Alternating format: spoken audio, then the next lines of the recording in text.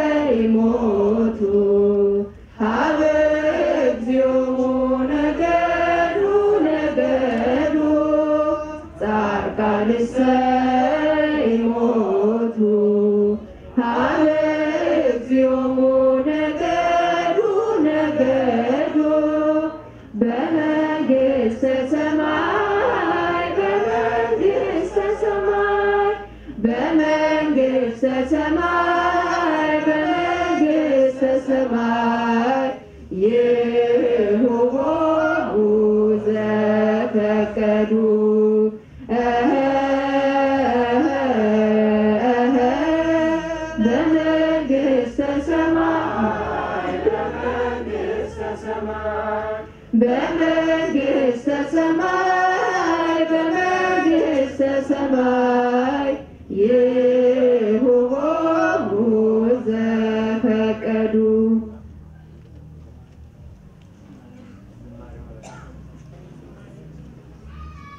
ዝማሬ መላእክትን ያሰማል። ዝማሬ መላእክትን ያሰማል። በእውነት ሲዘምሩ የነበረው ቃሉ ሆነ ብለን በእውነት ከልባችን ጋር አብረን ስናካሄደው ወደ አእምሯችን ስንወስድ ልዩ ቀለብ ነው፣ ልዩ ስንቅ ነው። ቅድም አባቶቻችን ሊቃውንት ሲዘምሩ አይታቸዋል። እንዴት አድርጎ መቼም በዛን ሰዓት አፋችሁን ያጣጣማችሁ ሰዎች ካላችሁ አላውቅም፣ እንደ አፋችሁ ማር ማር አይልም ነበር። በእውነት ልዩ ነው። በእውነት እኔ እኮ በቃ እግዚአብሔር እኚህ አባት በሕይወታቸውም ሰውን ሲሰበስቡ ነበር። ከሞቱ በኋላ ካረፉ በኋላ ሁላችንም አንድ ላይ ሰብስበውናል። በእውነት እግዚአብሔር በረከታቸውን ያሳድርብን። ቀላል ነገር አይደለምና በእውነት በቤተ ክርስቲያናችን ፈተና ትልቅ ነበር። ያንን ፈተና እግዚአብሔር አቅልሎ ወደ ሀገራቸው እዛ ማረፋቸው ለቤተ ክርስቲያንም ለእኛም ትልቅ ሞገስ፣ ትልቅ ክብር ነው። ይሄንን ያገኘች ቤተ ክርስቲያን በእውነት የታደለች ቤተ ክርስቲያን ናት። ነገር ግን እኛ አባት ሌላ ቦታ ቢያርፉ ኖሮ የቤተ ክርስቲያን ውርደቷ የእኛ ውርደት የከፋ ነበርና እግዚአብሔር አምላክ በረከታቸውን ያሳድርብን በሁላችን ላይ